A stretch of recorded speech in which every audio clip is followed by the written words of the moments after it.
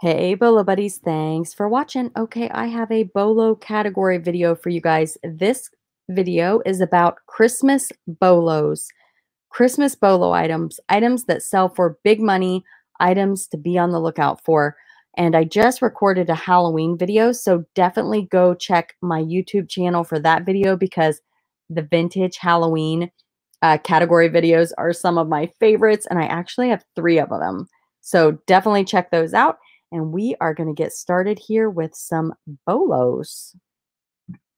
All right, the first item is this um, 1950s Noma Woolworth Christmas lights. And they work, guys. So what's cool about these is they're from the 1950s, number one. And check out the box. The box is still in pretty fantastic condition. The lights work. Super, super cool. Um, these sold for a $100 with 59 bids and the buyer paid shipping. The next item is this, here we go, aluminum, I cannot say that word, aluminum, aluminum. I still feel like I'm saying it wrong. Anyway, it is a six foot stainless silver aluminum Christmas tree. It's vintage. These are a bolo, you guys. If you haven't seen them, the um, actual uh, branches go inside these sleeves right here, and then they go in the box. But these are really, really neat, and they are definitely a bolo. But most people know that they're worth money, so they're hard to pick up cheap. But definitely be on the lookout. If you find one cheap, buy it, buy it, buy it. This one sold for $305, and the buyer paid shipping.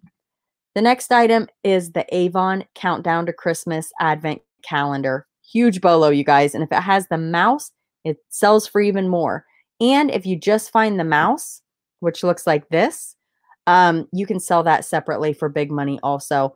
So um, I have a Bolo category video on Avon items. Yes, I said Avon items. There are some big money Bolos that are Avon. So definitely check out that category video because those are things you can find at garage sales. People always have Avon at garage sales. So um, just go to my YouTube channel, search Avon, and you will find it. The next item that sold is this 1930s Santa. It's paper mache. It's a Christmas candy container made in England, and it sold for $168.50. Super, super cool and in really, really great condition. The next item that sold is this vintage Atlantic mold Christmas tree. Okay, so I will tell you, not all of these trees are created equal.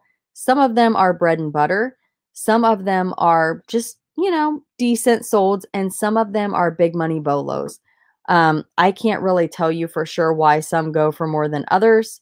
Um, I'm definitely not a tree expert, but if you check out, um, gosh, it's Eddie Hodges and his wife um, collects these trees and they know a lot about them. And he has an awesome Facebook group. Um, it's the reselling research group, I think it is. Um, I can't remember the exact title of it, but if you guys go down below in the description of the video and you click on my Facebook group and join it, you can also private message me and I can get you the link. And I share his um, group in my group also. So you might be able to find it that way. But yeah, these um, Christmas trees, some of these ceramic trees go for big bucks.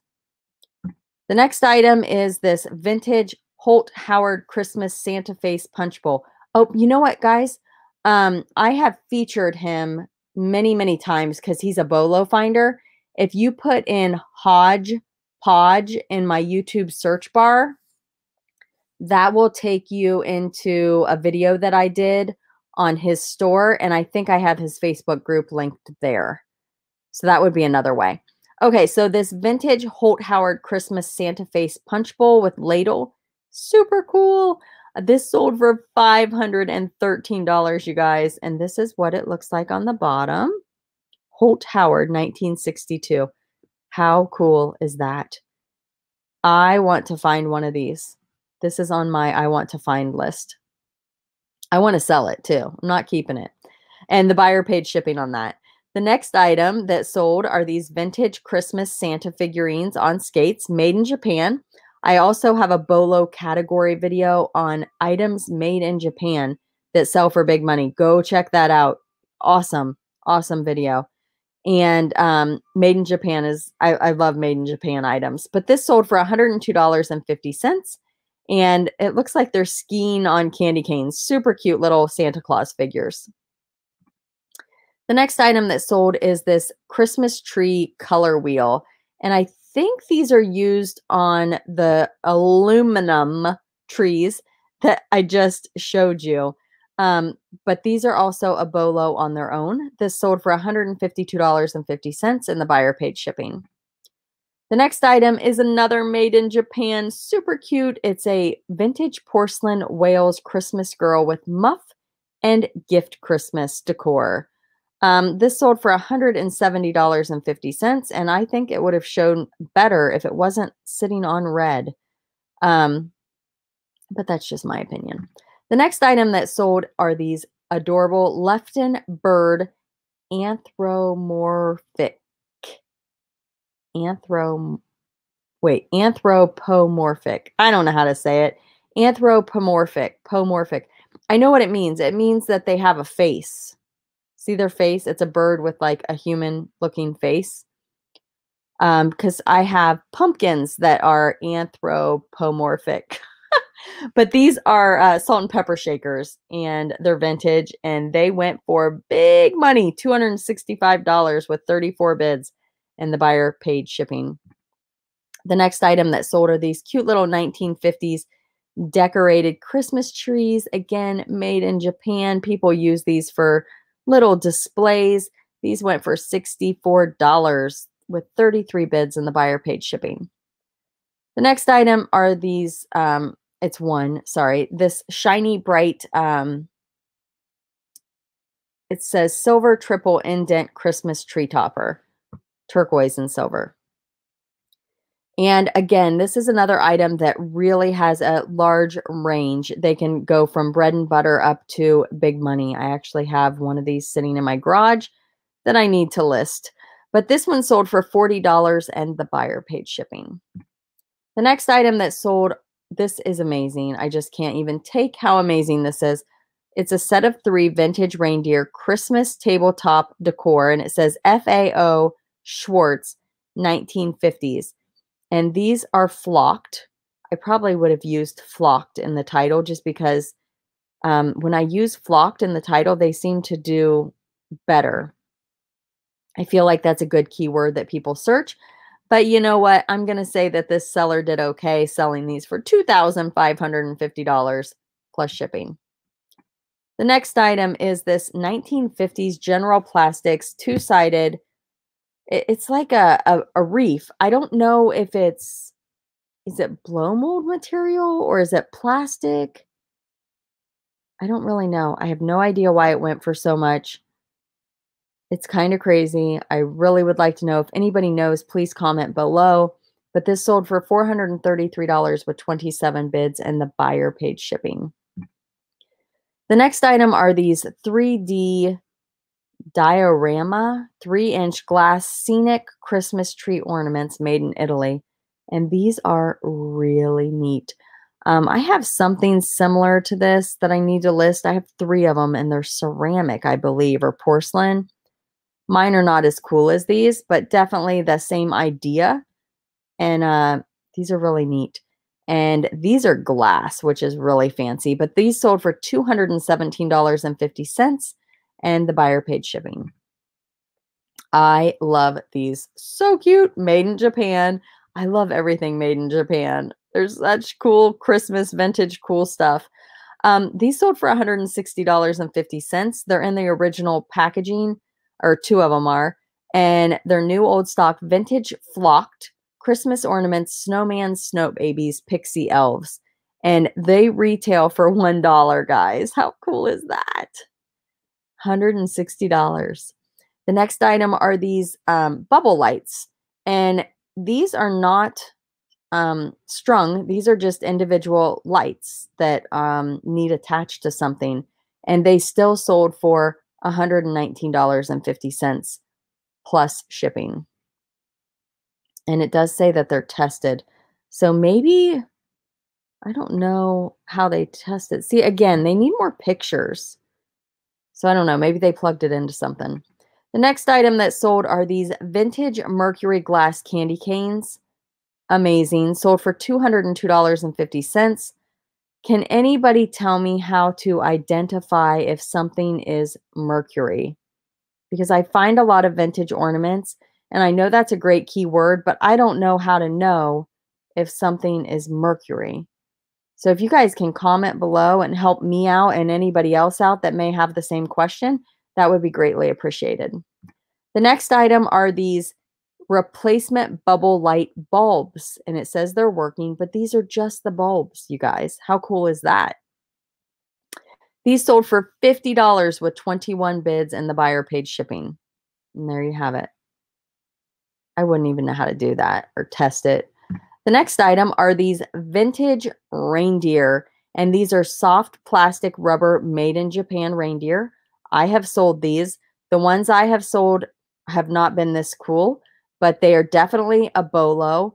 Um, these yellow ones are amazing, and the color on these are still fantastic.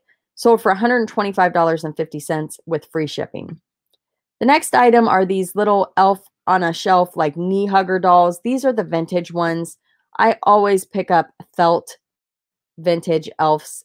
Um, a lot of them are bread and butter, but some of them can go for more. This one went for $31 and the buyer paid shipping. The next item is so funny. He's a vintage 1950s W German paper mache Santa elf gnome. I'm not sure what it is either, but it's a candy container. How cute is that? And this sold for $152.50, and the buyer paid the shipping. The next item is more of these reindeer, and uh, they are just so cute. Now, these are made in Hong Kong. Um, but again, vintage rubber plasticky reindeer. Some are rubber, some are plastic. I'm not sure what these are. Again, I would have utilized more of the pictures. I mean, we get 12 photos. I would have showed the underside of them. I would have showed the behind area because when you're looking at vintage, older things like this, they can have like little scratches or defects. So it's always good to show all sides of the items but they sold for $130 plus shipping. The next item, I love this. It's a vintage Rudolph the Red-Nosed Reindeer wool Christmas sweater. It's child size. It's from the 1950s. What do you guys think? Other than it needs washed.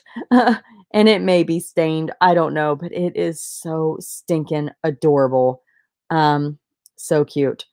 Uh, it sold for $632. And I want to see what they started this one at. Uh, seven unique bidders. They started it at forty dollars. How I'm guessing that this seller was just like crapping their pants. did I say crapping their pants? Sorry, guys. I did. I said that. Um, I bet they were super excited. And you can see, um, uh, hold on, uh, right here that the top three bidders, um, or two bidders were in over a thousand feedback. So I'm guessing it probably got paid for. Let's go into their feedback. I, I snoop around sometimes. Um, here it is, you guys. Thanks for the fast service. We'll buy from again. Super seller. Perfect. So look, it got paid for. That's one way you can go in. And if it's a big seller that has tons of stuff, you can use the search bar, eBay. Uh, they started this not too long ago, really. Um, but yeah, so, and this um, seller only has like 100 feedback. So let's see what else they have listed. Nothing else listed. So, and this is their only sold in the last 90 days. But hey, you know, it's a good one. So good for them. All right, you guys, thanks for being here. Thanks for watching. Be sure to like, comment, subscribe, and share. And I will see you guys at the next video. Thanks for watching.